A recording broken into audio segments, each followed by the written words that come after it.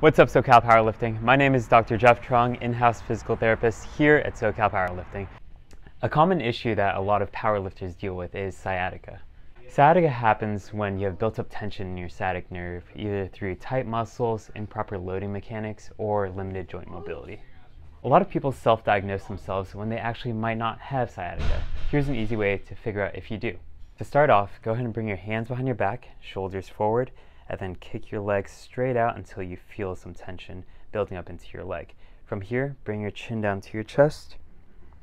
If your symptoms got worse after bringing your chin down to your chest, you may have sciatica. Here's a quick stretch you can do to improve that tension. Go and start in that same position, hands behind your back, shoulders forward, and then kick up until you feel that tension, and then back off just a little bit and from here, you're going to follow your head with your foot.